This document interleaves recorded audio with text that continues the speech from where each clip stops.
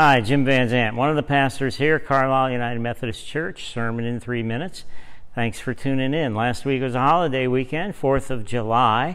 So, as our text in the Sunday service, we used the 15th chapter of John and particularly Jesus' words in the 13th verse about uh, how uh, um, greater love has no man than to lay down his life for his friends.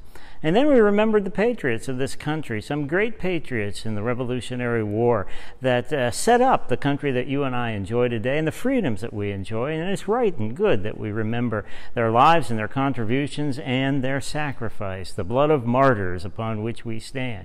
Abraham Lincoln called upon the memory of that some 85 years after that event uh, the, in the Gettysburg Address. And as well he remembered it, so we should remember it and remember to live lives worthy of their sacrifice as citizens of these United States.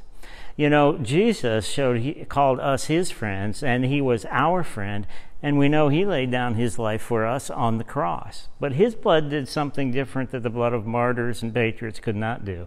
His blood cleansed us from our sin, washed us white as snow, restored a relationship with God our Father in heaven, so that we can live in communion not only with God, but with one another in a different and new kind of relationship.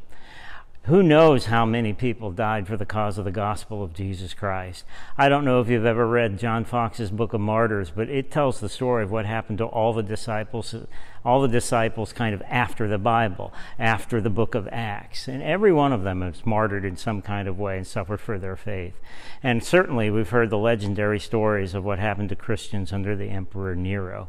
Sometimes I'm humbled by that kind of sacrifice and early Christian patriotism and wonder if I'm living a life that is worthy of their sacrifice. It's something for you and I to think about in our walk of discipleship. Maybe this week, just give a thought to the fact, uh, to thought and look at, at your walk of discipleship and see if it might measure up to the sacrifice of so many others, because there are those who will come after us who will be relying upon our sacrifice.